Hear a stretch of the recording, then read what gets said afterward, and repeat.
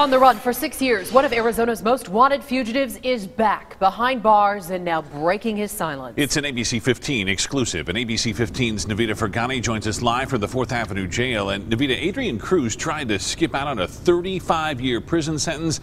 Now it's just going to be a whole lot worse. And Steve, Adrian Cruz's very candid conversation with me is one of the very few he's actually been able to have since being booked. He's currently being housed in the special management unit right here at the 4th Avenue jail. This is where the most at risk and dangerous inmates stay. Pues no soy esa persona que todos hablan mal. I am not the evil person that everyone is talking about. Adrian Cruz back in the gray and white stripes after being off the radar for the last six years.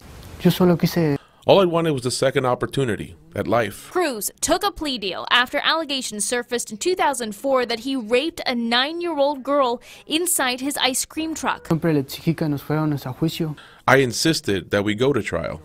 But he claims his attorney forced him to take the plea deal. Then, five years after that deal, Cruz decided he did enough time. Te tomé la oportunidad que I took the chance that God gave me to get out in a clean way. This is video from when Cruz casually walked out of the courthouse, disappearing to Mexico, starting a brand new life, falling in love, and becoming a father of two.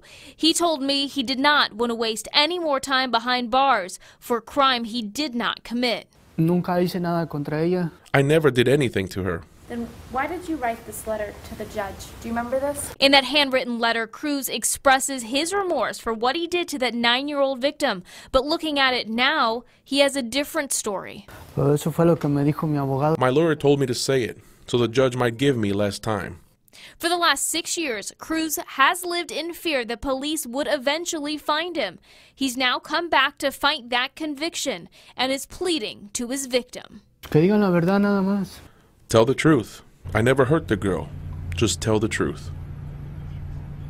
Cruz also tells me that his wife knew about the allegations against him and knew why he fled to Mexico. He tells me that when police showed up, she was the one that encouraged him to come back and face the consequences. His next court date is December 2nd, which is on Wednesday. Yeah, a couple of different stories he's told. We'll see which one the judge believes. Thanks so much, Navideh.